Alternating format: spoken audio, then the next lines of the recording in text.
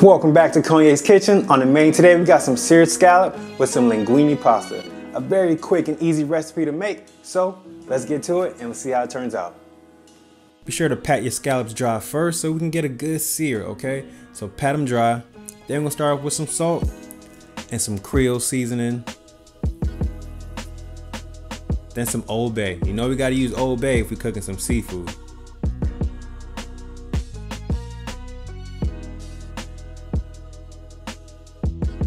Now you wanna get your pan nice and hot. I already have some grapeseed oil in there. Some with a high smoke point. Get your scallops in. Once you get them in, you don't wanna move them so you can get that nice good sear. And cook for about two to three minutes on each side.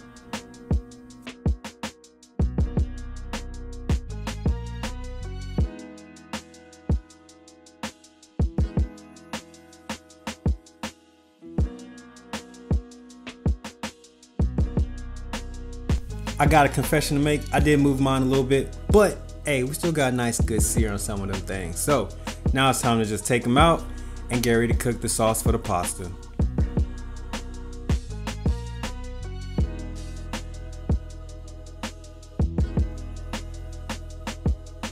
Now we're gonna leave those charred bits on the pan. We're gonna add a stick of butter to it and melt it down to keep all that flavor. Next, we're gonna add your garlic paste or your minced garlic. I love garlic paste because it's so much simpler.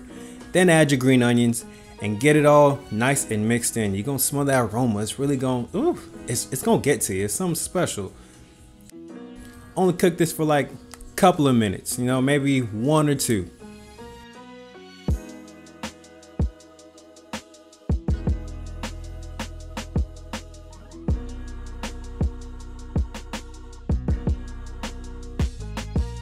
Next, we're gonna add about two tablespoons of some oyster sauce.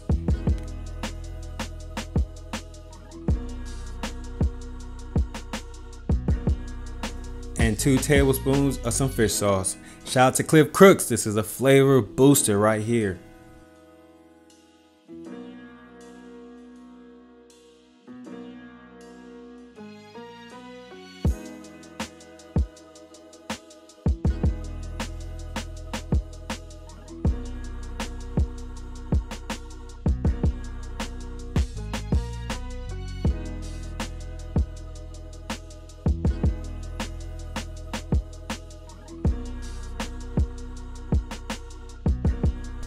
Next, we're gonna add some pasta water. This is gonna really help the flavors and all the juices and sauces stick. You know, this really gonna help it stick together with all the starches from the pasta.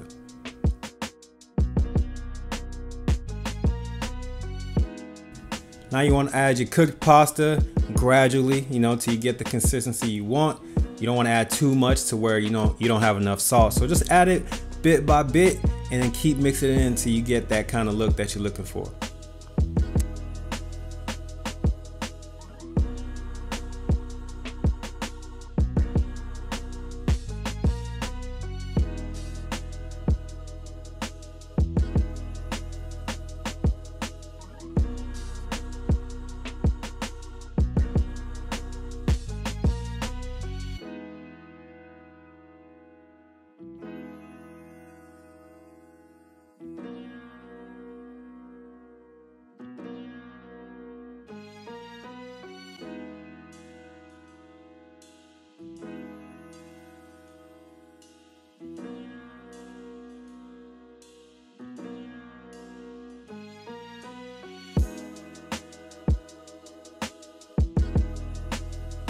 Next, we're gonna add some parsley because you know it's parsley. It makes everything look good. So just add it in there, bring some more color, and mix it all up in there.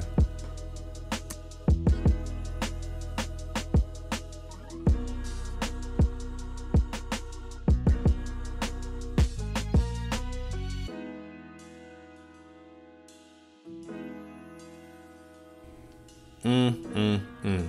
We done did it again, folks.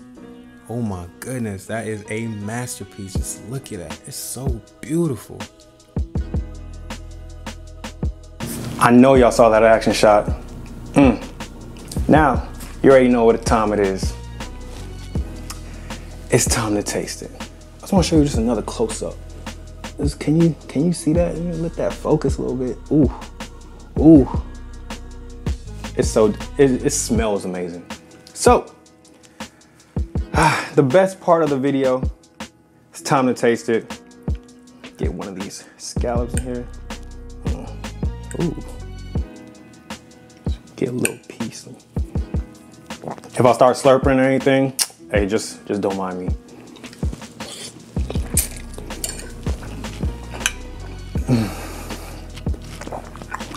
Man, oh my goodness, there, there's just something about scallops. I know some people don't like the texture of it, but they cook so fast and they taste so good. Oh my goodness. And the noodles, it's like a garlic noodle type uh, way I made it, you know, with the butter and garlic. You know, you're gonna see all that in the video. But, oh man. See, we had that fish sauce. That's that flavor booster. Shout out to my boy, uh, Chef Crooks, Cliff Crooks, taught me that. Oh my goodness, this is. Mm, mm, mm. And my butter make make be making my lips all greasy. I'm gonna wipe this off real quick. Hold on. Mm.